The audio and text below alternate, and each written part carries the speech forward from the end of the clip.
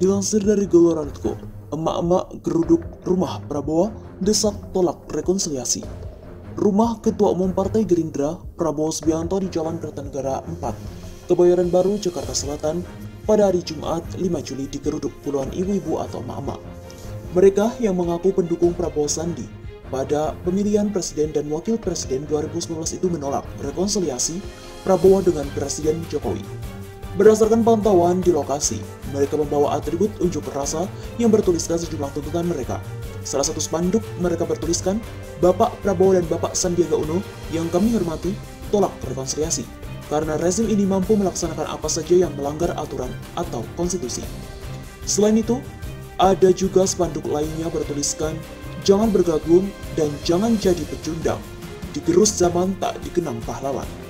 Kemudian spanduk lainnya bertuliskan, pemenang sejati berani jadi oposisi.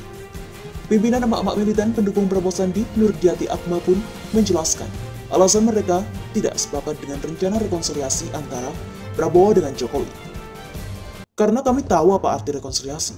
Artinya kita menerima bergabung, lalu menghilangkan sejarah lama yang sangat tidak bisa hilang di dada kami. Bagaimana kecurangan yang begitu masif, yang begitu terstruktur, kasat mata, mereka bisa lihat tapi mereka abaikan. Tutur pimpinan emak-emak militan pendukung Prabowo Sandi Nurdiati Akmal di depan rumah Prabowo. Dia pun menyinggung ratusan petugas pemilu 2019 yang meninggal dunia. Yang tidak tahu kenapa matinya dan tidak boleh diotopsi. Ada apa? Ujarnya. Sementara itu, Prabowo diketahui tidak sedang berada dalam rumahnya di Jalan Kertanegara nomor 4, Kebayoran Baru, Jakarta Selatan.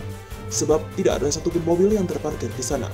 Seperti diketahui, Prabowo juga memiliki rumah di Kampung Bojongkoneng, Sentul, Babakan Madang, Bogor, Jawa Barat.